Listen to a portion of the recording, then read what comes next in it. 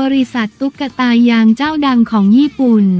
เตรียมโบกมือลาหลังก่อตั้งมากว่า 40 ปีรอบโลกวันที่ 24 สิงหาคม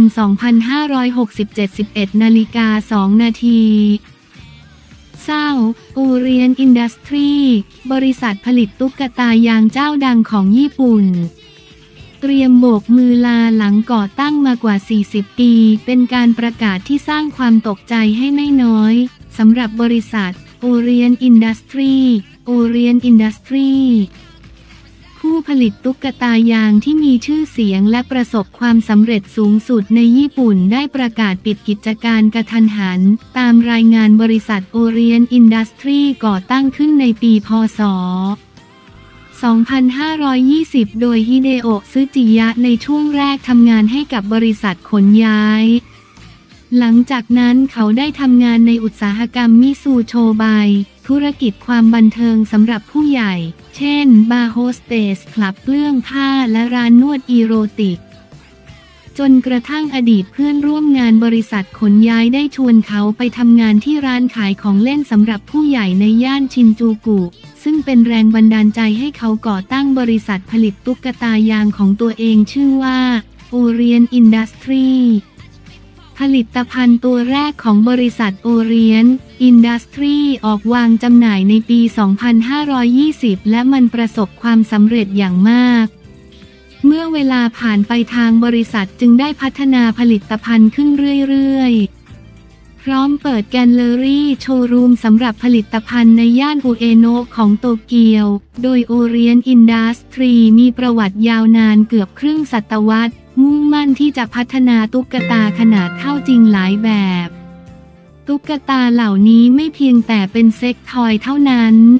แต่ยังรวมถึงหุ่นผู้หญิงที่สามารถให้ มิตรภาพและความสบายใจทางจิตวิญญาณเสมอ แต่ขณะนี้ประวัติศาสตร์ 47 ปีของ Orient Industry กำลังมาถึงจุดสูงสุด เมื่อวันที่ 21 สิงหาคม บริษัทได้โพสต์แถลงการบนเว็บไซต์ว่า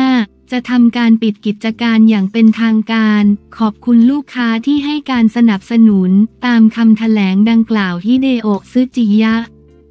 ผู้ก่อตั้งบริษัทเพิ่งตัดสินใจถอนตัวออกจากอุตสาหกรรม เนื่องจากปัญหาด้านสุขภาพ ดังนั้น Orient Industry จึงปิดกิจการไปด้วย ผู้ก่อตั้งของเราฮิเดโอะซึจิยะ ซึ่งเป็นผู้นำบริษัท Orient Industry ของเรามาหลายปีได้ตัดสินใจเกษียณและให้ความสำคัญกับสุขภาพของตนเองเป็นอันดับแรก เราขอใช้โอกาสนี้แสดงความขอบคุณอย่างจริงใจต่อลูกค้า และพันธมิตรของเราทุกคนที่เชื่อมั่นและสนับสนุน Orient Industry เมื่อคำนึงถึงสุขภาพของเจ้าของและเคารพความปรารถนาของเขา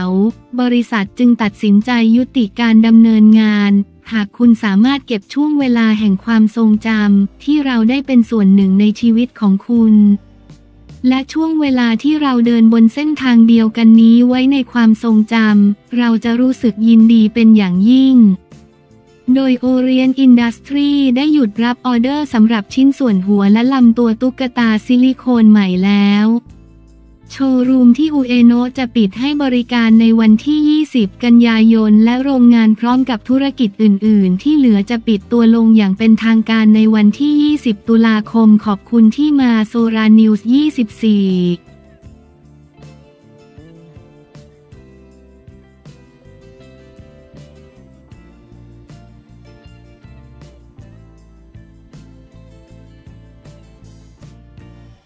พิษโพสต์เตือนประชาธิปัตย์รวมเพื่อไทยระวังเหลือแค่ตำนานการเมืองวันที่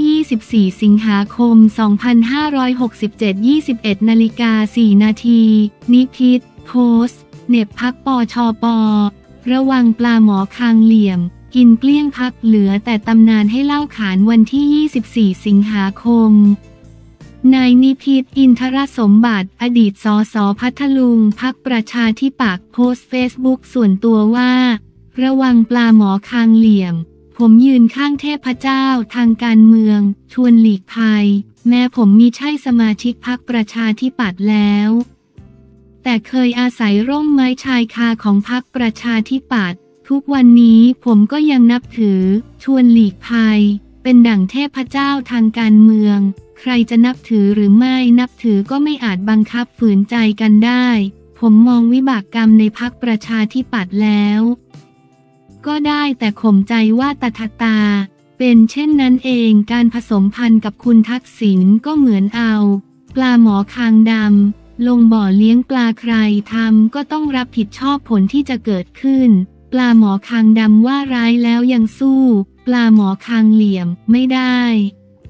วันที่ปลาหมอคางเหลี่ยมกินปลาที่เลี้ยงไว้หมดบ่อวันนั้นจะรู้สึกแต่สายไปแล้วคงเหลือแต่บ่อร้างไว้เป็นตำนานให้เล่าขาน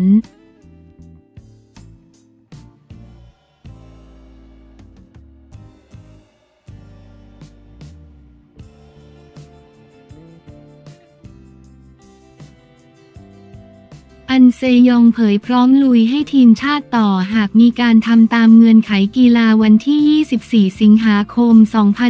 2567 13นาฬิกา39 นาที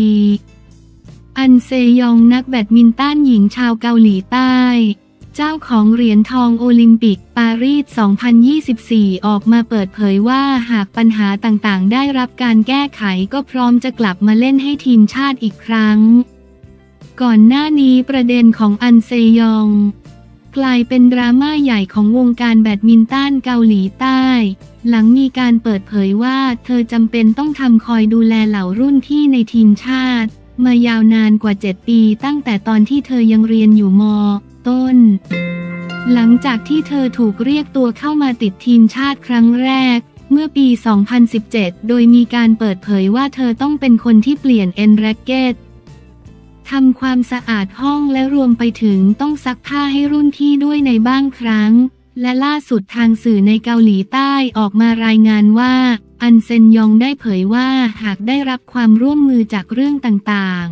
ๆ เธอก็พร้อมที่จะกลับมาเล่นให้กับทีมชาติเกาหลีใต้อีกครั้ง นอกจากนี้เธอยังเผยว่า ฉันต้องการที่จะประสบความสำเร็จมากกว่านี้ในอนาคต แต่ผู้เล่นหลายคนและฉันต่างเจ็บปวดจากอาการบาดเจ็บในการเล่นให้ทีมชาติ ฉันบอกอย่างชัดเจนแล้วว่าไม่สามารถจะทำอะไรมากกว่านี้กับทีมชาติได้ หากไม่มีการพัฒนาเรื่องวิธีการจัดการและการดูแลผู้เล่นให้ดีกว่านี้ แต่หากมีการประสานงานที่ดีขึ้น ฉันก็อยากจะเล่นให้กับทีมชาติและเพื่อเกาหลีใต้อีกครั้ง